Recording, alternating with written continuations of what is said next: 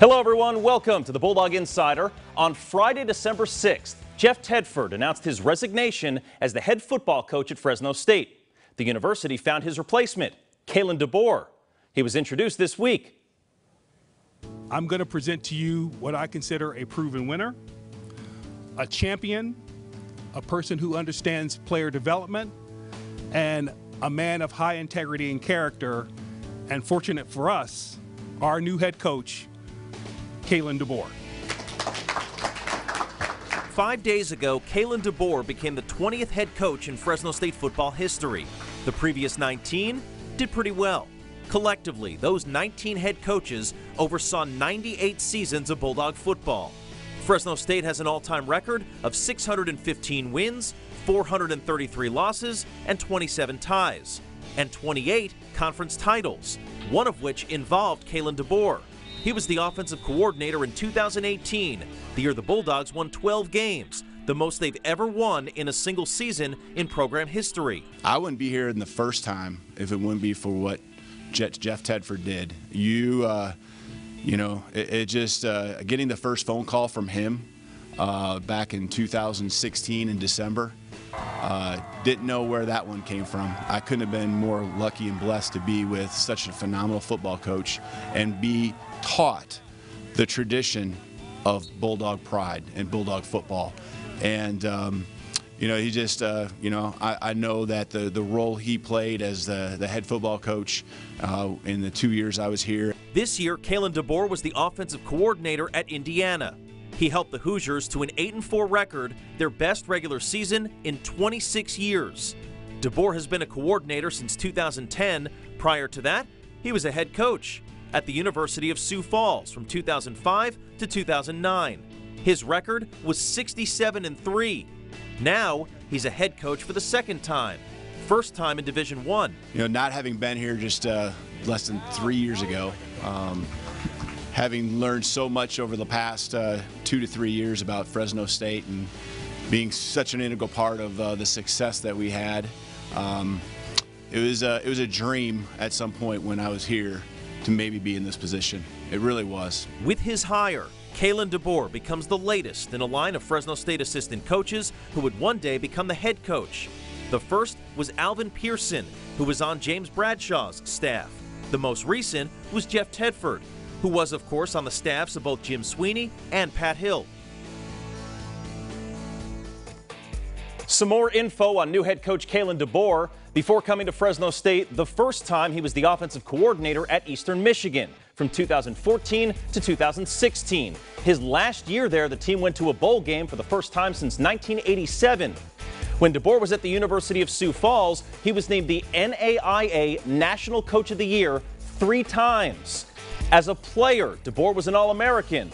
He was a wide receiver at the University of Sioux Falls. He set school records for receptions, receiving yards, and touchdowns from 1993 to 1996. Scott Bemis went one on one with Kalen DeBoer. It's this week's Coaches Corner, brought to you by Midland Tractor.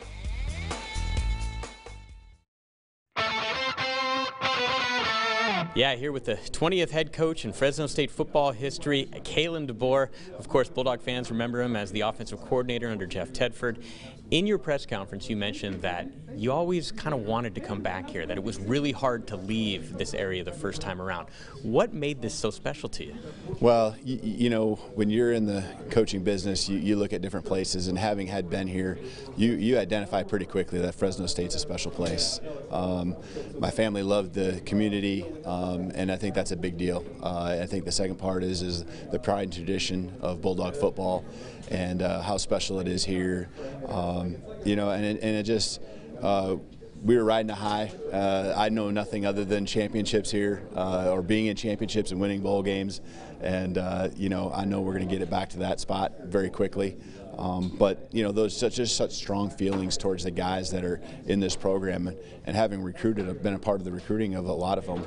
Um, I know what exists here, and and uh, just want to love on them and, and let's go let's go uh, get to work and roll our sleeves up and get this done having been in the Big Ten and now having coached in the Mountain West as well, what do you think Fresno State is capable of on the national level? Yeah, I, I think um, I, well, I know what we did uh, the two years we were here, and uh, I look back at the football that we were playing, the quality of football that we were playing, and it was an extremely high level. Um, I know that we have players in this program that can compete at that level. Now, I think the difference is you got to build the depth and you got to have you know just a couple more guys that are um, at an extreme level, which uh, I think we attract those type of guys uh, because of everything that Fresno State stands for. So. Um, you know, it, it, was great being a part of it uh, and having had a chance to see, you know, um, see it uh, up close and personal. Um, it certainly certainly gives me a good vision and, and view to help us here get to those uh, those uh, spots that you're talking about, um, being elite. Um, you know, we know what it takes to win a conference championship, um, but you know, um, I want to take us to even higher places than that. All right, finally. Fresno State's had some coaches who've been here for a long time. You know, Coach Sweeney was here for a long time. Coach Hill, uh, uh, Coach Tedford probably would have, uh, you know, retired here is yeah. my guess if, if yeah. he had his choice. Um, could you see yourself, you know, coaching at Fresno State for a long run? I absolutely do. I absolutely do. So, I, I equate this uh, this place uh, to my alma mater, and I was at my alma mater for 10 years. The first 10 years I coached, I was there. And five as a coordinator, five as the head coach, and. Um, I see the same qualities and values. And when you know that it's the fit, um, that that you know the school being the fit for me and vice versa. Um, you know, you just the grass isn't always green on the other side. I've learned that quickly by watching a lot of my friends, um, and I've been very thorough in the decisions that I make to go different places, and I, I feel like I've done a pretty good job of that, and I know that this place is something special. I certainly could see myself coaching here for a long, long time. All right, here with Director of Athletics Terry Tumey. Uh, you go ahead and you hire Kalen DeBoer. What excites you about Kalen? Well, I think I think the his success. He's had success in every stop. If you think about uh, our successful seasons here, you think about what he's done in Southern Illinois, you think about what he's done in Eastern Michigan, you think about what he's doing in Indiana right now. Uh, I think that success can translate here very well. But I also really am very happy and looking forward to working with how he cares about student athletes and, and, and how he's going to invest in our students. So uh, overall, I'm really excited about where we're going and, and what's going to take place in the future you're familiar with Kalen, obviously, because of his time on, on Coach Tedford's staff.